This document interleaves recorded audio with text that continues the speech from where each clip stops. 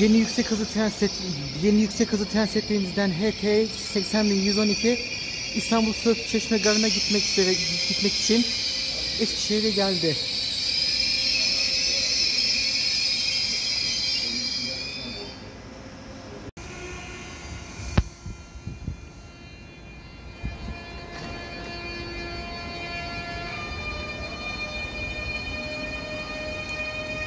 HT 80102 HT 80112 setimiz şu an İstanbul'a doğru gitmektedir.